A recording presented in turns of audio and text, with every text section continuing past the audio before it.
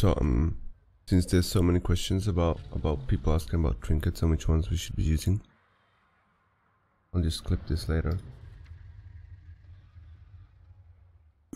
Um, I wouldn't say there's any definite best ones, what we should have.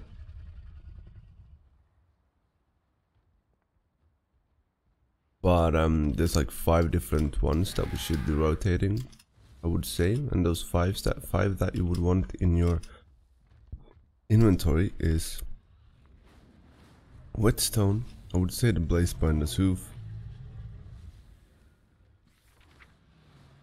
decoration of flame, possibly some of the other red trinkets, but this one should be quite huge.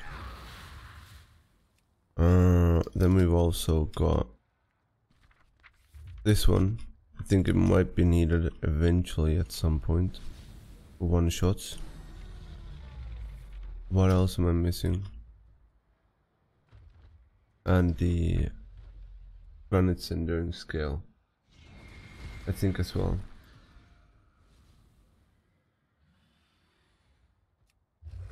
I'm not sure what most red trinkets perform like.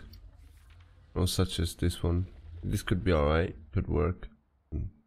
Passive one.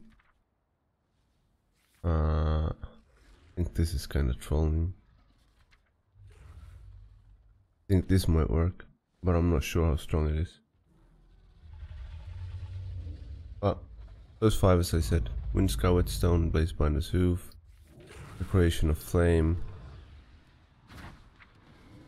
Burgeoning Seed,